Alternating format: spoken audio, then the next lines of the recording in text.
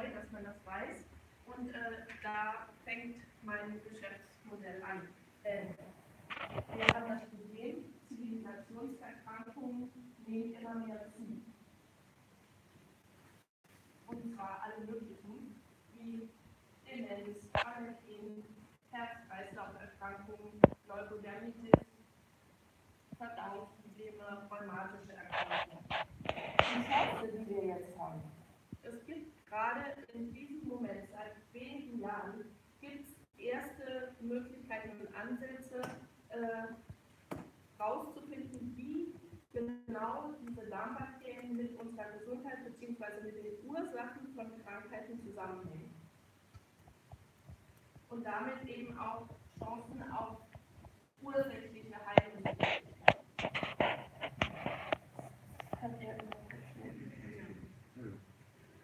Also es ist so, wenn wir mal genau auf unser Mikrobiom gucken, dann sehen wir im besten Falle, dass da viele gute Bakterien sind, die uns unser System fördern, stärken und am Laufen halten.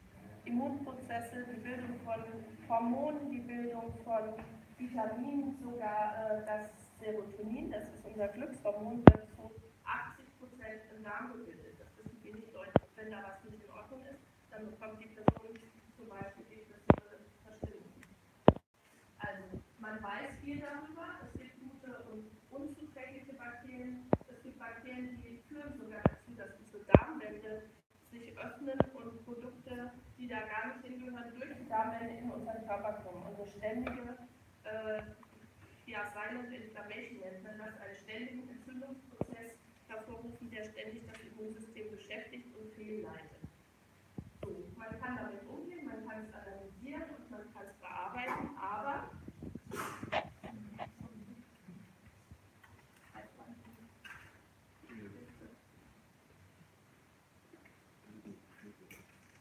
aber leider ist das Bearbeiten und Analysieren für Normalsterbliche bisher überhaupt nicht zugänglich. Also entweder man geht zum Arzt und Regel weiß der Hausarzt überhaupt nichts darüber, selbst äh, spezialisierte Gastroenterologen, also Leute, die mit Darm äh, und Magen beruflich beschäftigt sind als Ärzte, kennen teilweise nicht die neuesten Ergebnisse in dem Bereich, weil das immer noch nicht in Deutschland zumindest. Das heißt, das Gros der Hausärzte weiß darüber gar nichts und behandelt weiterhin symptombezogen.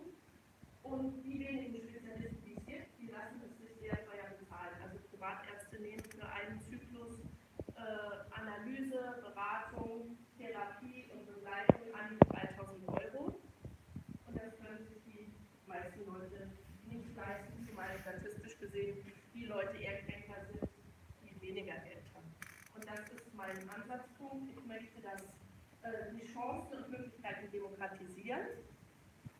Und ich möchte als Darmfloristin Zugang zur Ursachenbearbeitung für alle ermöglichen. Und was biete ich an? Ich biete einmal einen Input, damit die Leute selbstbestimmt an die Sache herangehen können. Ich biete an einen Test auf wissenschaftlichem Niveau, also Tests, die sonst in wissenschaftlicher Forschung oder in spezialisierten Kliniken angeboten werden. Ich gebe das Ergebnis raus und erkläre es auch, damit die Leute wissen, was ist da los in meinem Darm, was ist fehlgeleitet, was nicht. Ich gebe Empfehlungen und ich biete Produkte an. Zusätzlich kann man einkaufen Betreuung, Nachbetreuung und Beratung. Und es wird auch Zusatzinformationen geben. Und weil ich bestimmte Qualitätsansprüche habe, ähm, habe ich eine eigene Produktlinie am Start.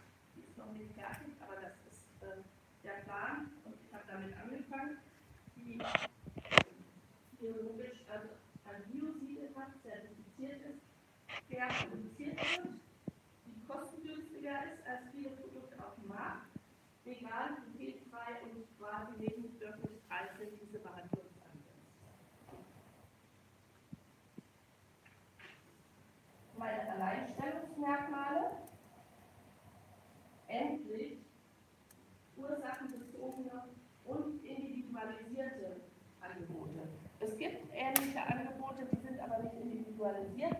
Macht irgendwas mit dem Darm rum und lässt dabei außer Acht, dass jede Darmflora von jedem Menschen unterschiedlich ist und dass jeder andere Probleme und somit auch andere Behandlungsansätze braucht. Probleme hat und Ansätze braucht. Ähm, die ermögliche eigenverantwortliche Gesundheitsförderung. ähm, ich biete an, dass kostenlose Abo und äh, Paketangebote, wie gesagt, zertifizierte Bioqualität, die Produktion ist fair und sicher in der EU, das ist auch wichtig. Es gibt sogenannte Probiotika, die werden in China hergestellt, durchaus einen Bruchteil des Geldes, aber die unterliegen keiner Kontrolle. Das heißt, erstens sind da zum Teil äh, Bakterien drin, die natürlicherweise gar nicht in unserem Darm vorkommen. Und zweitens äh, gibt es Bakterien, die mutieren. Und da es in China keine Richtlinie gibt, darauf zu achten, äh, gibt es auch keine Garantie dafür, dass solche da nicht drin sind.